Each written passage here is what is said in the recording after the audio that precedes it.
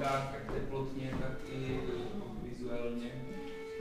A chtěl bych tady přivítat eh, umělce ze základní umělecké školy Střezina, kteří vám tady představí nějaké solo koncerty.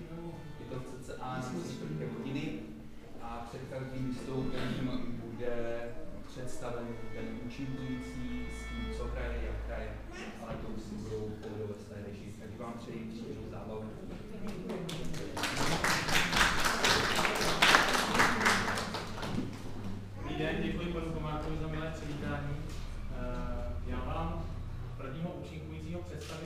tantas coisas aí